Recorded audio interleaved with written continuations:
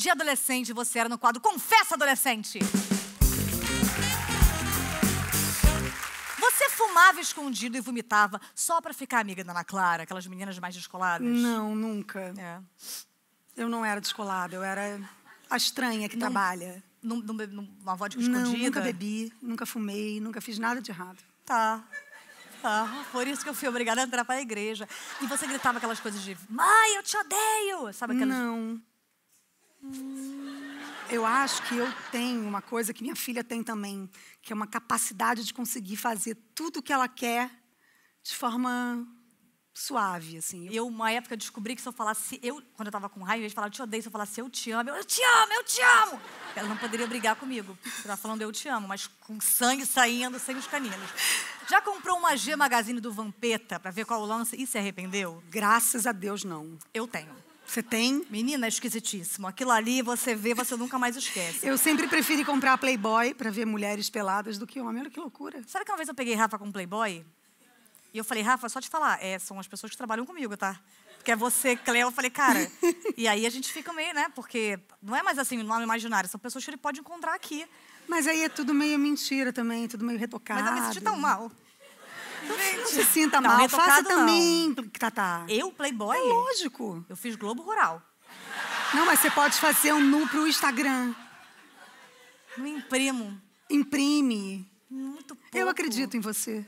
Você já teve molinha, pogobol, favolete, tabagoste e candidice na praia? Tudo isso. Candidice na praia. Você já viu um jogo do Fluminense e pensou, hum, esse Roger tem coisa? Tá. Pensei, né? Devo ter pensado, casei. É, mas não vamos falar de ex, não. Ah, mas não tem problema, não. Ah, então vamos falar de ex. Era aquela adolescente que sofria, não? Sofria ouvindo Mara Maravilha. Eu sofro hoje. Se eu ponho hoje, eu sofro demais. Sofro. Já vomitou numa festa e beijou um cara depois e não falou nada? Já vomitei em casa e beijei. Sem falar nada. E saiu sem escovar o dente? Não, dei uma lavadinha. Ah, é? Quando Eu- você vomita, tem que ficar um dia inteiro sem beijar? Não, eu, vom- eu beijei Rodrigo Santoro, tinha acabado de vomitar. Aqui no programa. E, Vomitou, limpou, tá tudo É, certo, né? gente. Com certeza. é, às vezes amanhã. Às vezes não é nem escova de dente, às vezes é um algodãozinho. Não, eu sempre passo Sim, uma escovinha. Eu também, claro. E você já cobiçou o namorado de sua própria irmã? Na verdade, essa é uma história muito triste pra mim, Ah, porque o menino que eu dei meu primeiro beijo depois acabou namorando a minha irmã. Então a sua irmã que. Tadinha, acontecia também, não era culpa dela. Ela não passa na minha frente, Débora. Sua primeira experiência na Globo, em novelas, você levou numa boa, alguém falou alguma coisa que te deixou meio ressabiada? Eu morria de medo de entrar aqui, de fazer novela, morria de medo de não saber fazer, porque até hoje, às vezes, eu venho fazer novela e falo, ai, não sei se eu sei fazer, e alguém Ai. vai descobrir que eu não sei fazer. Eu tenho muita insegurança, assim. Esse início de novela, para mim, é um sofrimento. Chego em casa É. todo dia chorando, arrasada, que não fiz bem, que não vai dar certo, cara. que eu não sei mais fazer. que- Tem um cara da Record já assim, ó. É. Que ele te puxa, te põe um mega hair, vai fazer a Bíblia, ele já te põe direto. Jesus! É. Agora, depois a sua carreira continuou crescendo, você fez personagens cada vez mais marcantes. E desses momentos todos, você consegue dizer pra mim quais as personagens que você acha que realmente viraram a sua carreira? Eu acho que a Iris, de Laços de Família, a Sol, agora a Carola, a Darlene, Márcio Garcia não fez essa novela? fez. E sabia fazer? Sab... Sabia, essa novela ele fez bem até. Ah, é, ele fez super bem. Foi, é, fez. Fez. Ele tava aqui depois. Sacanagem. Tô brincando. Eu adoro o Márcio. Você teve a síndrome de apresentador. Não, mas não posso ele falar fez mal esse- dele, não. Ele é maravilhoso. E eu, só por causa disso, vou pôr aqui um porta-retrato incrível de Márcio Garcia, que é o momento que a gente usa a sua família para ter um pouco de bota. Você pretende ter carreira internacional, por exemplo? Amor, eu não falo nem oi, tudo bem em inglês. Eu sou muito apegada à minha mãe, minha irmã, minha família. Então, ficar longe deles, para mim, é um pouco difícil. Mas, mas isso não te impedia de fazer um, um- um- aquela que. Você não estuda inglês? Ah, sou muito apegada à minha mãe. Vamos tentar ver como é que seria se eu dirigisse você e você me dirigisse inglês, porque eu acho que a gente precisa aprender para ter uma carreira internacional. Eu acho também. Então eu vou fazer a mom, que acho que é mãe, né? Mãe é mãe. Muitas vezes não é. Mom podia ser Mama, mama, Sim. marida. Mary to- told me, Mary told me, why you tried to get a visa again? I did. I did. Não, peraí. Aí uma tosse no meio? Não. É que em inglês, tá. I did. I but did, I did. I did. I did. But I they they didn't it again. Say Janet. Say Janet, não. But they denied it. Denied it. Que It quer dizer... De nada. Denilson. É, de nada. It I again. did, but they didn't it again. Denilson fez de novo. Oh, é, war, war, ih, war, war, war. Caralho, como é que é isso? Our Hour, yes. Hour é horas. our Our home is here. Our home, ah não, é. Our home's here. I'm so happy. Our home's here. Tipo, você tá falando, eu, eu acho que a nossa casa é aqui. Eu entendi que horas o Homer chega aqui. Mas tá bom. I will never have a better life in Brazil.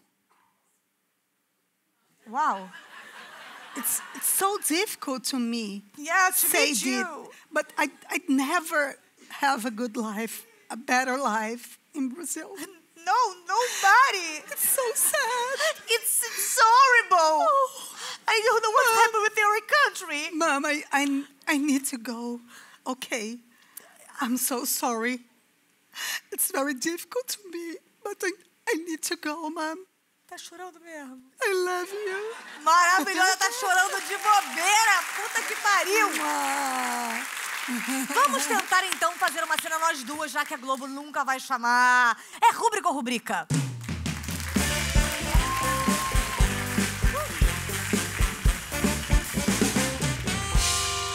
As falas estão nos TPs e eu vou dar as rubricas pra vocês, ok? Debochada. Ai, merda. Eu soube que você e o Olavo conversaram. Ah, Olavo, seu cozinho Olavo. Desprezando-a. Nossa, como você é infantil. A mais que eu já vi. Agora vai embora, mas antes pega aqui. Emocionada. Depois não pega aqui. Me dá me... Olha, eu me, eu me recuso a continuar essa conversa com trocadilhos. Até hoje eu choro depois que eu perdi mamãe. Eufórica. Encontrei! Eu encontrei sua mãe. Ela estava atrás do sofá. Decepcionada com cigarros imaginários. Ai, você brinca com coisas sérias. Eric Johnson estava certo. O melhor é se fazer a largatura e jogar um bom futebol. Merda. Indignada. Você não respeita ninguém. Hum, Eu só não te beijo porque você tá grávida. Boazinha. Olha, se, se te consola, eu, eu não tô grávida. Foi a desculpa que eu dei pra não ir no Ding Dong. Me beija, me beija. Sensual voraz. Eu morro de medo de pegar herpes, mas a resposta é sim! Sim! Eu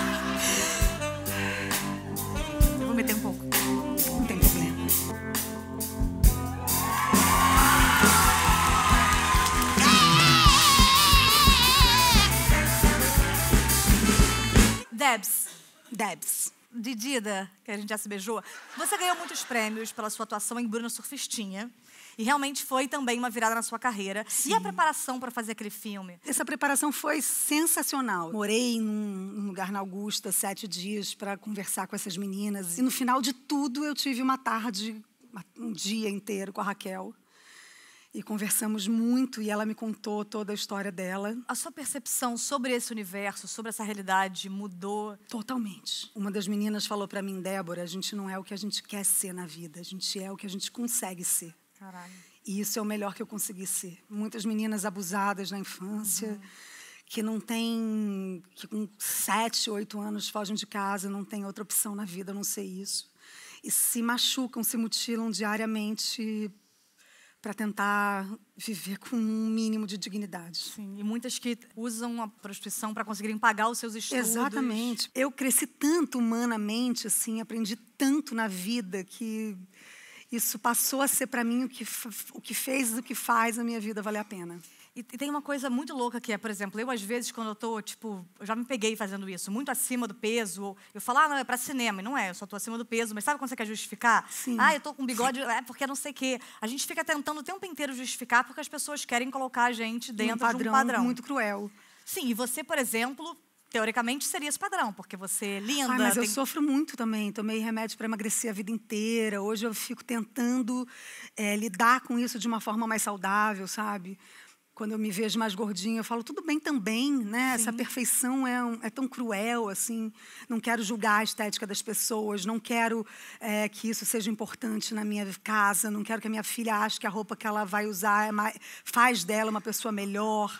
Então, isso é quase que uma.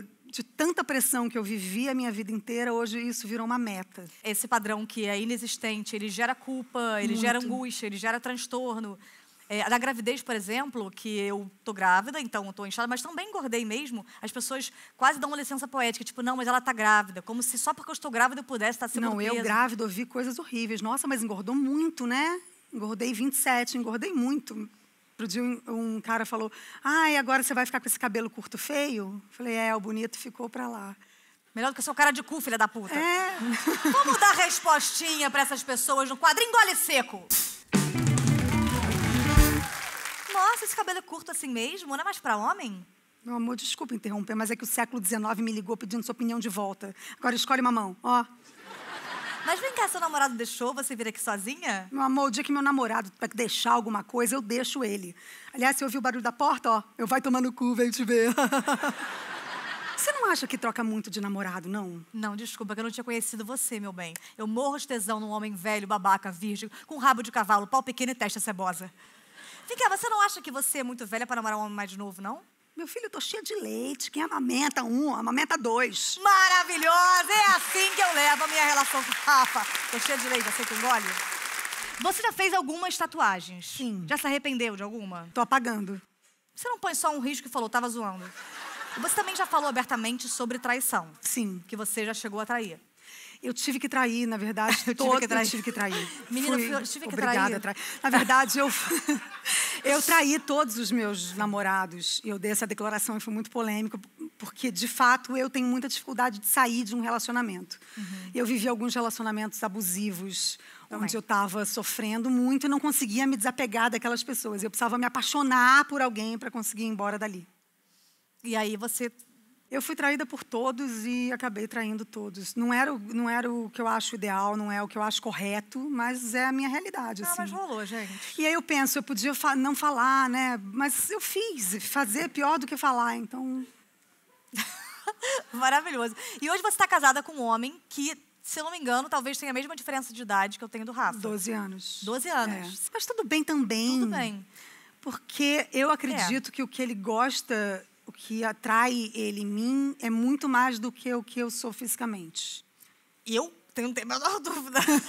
Eu acho que, eu- que, eu, que eu, enfim, a gente se diverte muito, a gente é muito feliz junto, mas às vezes faço uma conta. Tipo, ah, quando eu tiver 60, vai ter 48. Eu quando ele faço tiver essa conta 60, vai também. ter morrido. Mas não faço essa conta... Não, mas a, a fala é Mas eu não faço essa conta muito porque eu acho que vai acabar. Eu, de fato, acho que eu vou Agora, viver junto para sempre. Ai, que linda. Eu acredito muito. Eu acho que vou liberar o Rafa daqui a três aninhos. Ele não vai querer ser liberado.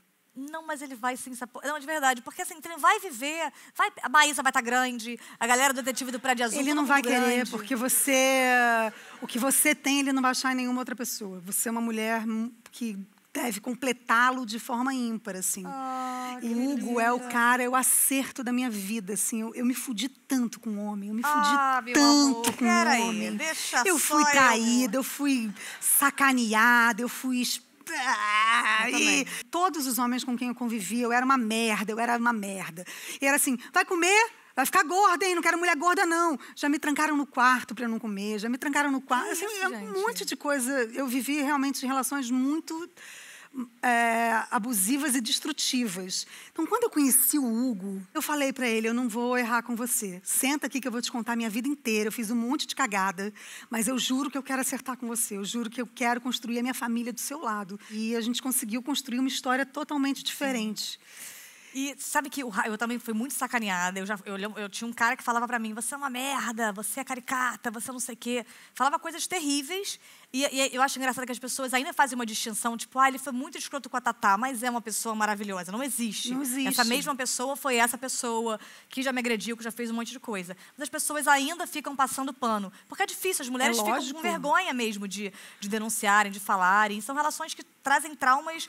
É, Enormes. Eu podia estar traumatizada aí para sempre. Sim.